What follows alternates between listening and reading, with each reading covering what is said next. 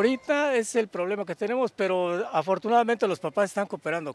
Los papás son los que están trayendo, van a traer los insumos para hacer estos filtros. Eh, en esta semana yo creo vamos a hacer la reunión de acción de padres de familia en general para que se haga el cambio que están pidiendo